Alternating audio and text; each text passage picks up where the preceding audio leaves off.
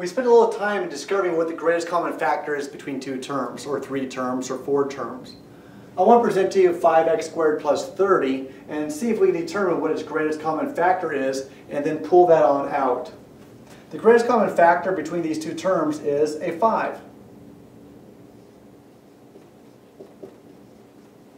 So I can rewrite this then as 5 times x squared plus 6. And that's useful sometimes that we're looking at an idea. We call this factoring. Let's factor out the greatest term. So I'm left with 5 times what is remaining. Let me give you a couple other examples of using this. Let's imagine 18x cubed plus 27x squared. What's the greatest common factor? And let's pull that out. Greatest common factor appears to be a 9x squared. And then what's left, and notice that I'm putting parentheses around what's left. That's very, very, very, very important.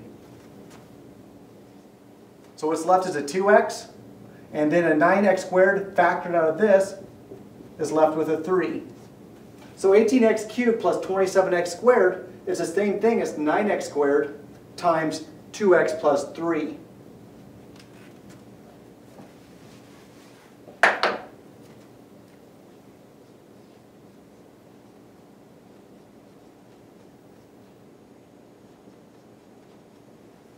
Sixteen x to the fifth minus twelve x to the fourth plus 4x. Again, let's take the greatest common factor and factor out each of the terms. The greatest common factor has a 4 in it, x to the fifth, x to the fourth, x has an x. And then what's left? Again, I'm putting parentheses around it.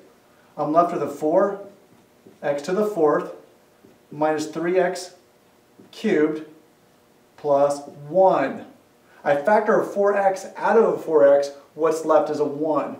And how we know that is we go backwards, I can multiply this 4x all the way through. 4x times the 4x to the fourth, 16x to the fifth. 4x times the negative, uh, negative 3x to the cubed, negative 12x to the fourth.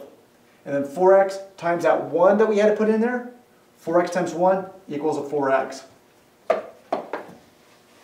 Last example. 27 x squared y cubed minus 9x y squared plus 81 xy. What's its greatest common factor? 9 x y.